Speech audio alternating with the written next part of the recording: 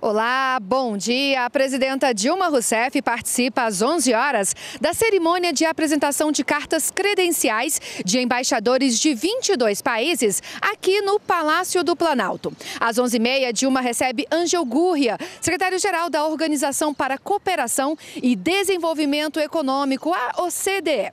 Antes de se encontrar com a presidenta, o secretário-geral da OCDE participa com os ministros da Fazenda Joaquim Levi e do Meio Ambiente Isabela Teixeira do lançamento dos relatórios da organização sobre o Brasil. Esse evento vai ser lá no auditório do Ministério da Fazenda. A OCDE é uma organização internacional que promove políticas públicas e da qual fazem parte 34 países. O Brasil integra o grupo de países considerados parceiros-chave, ao lado de China, Índia, Indonésia e África do Sul.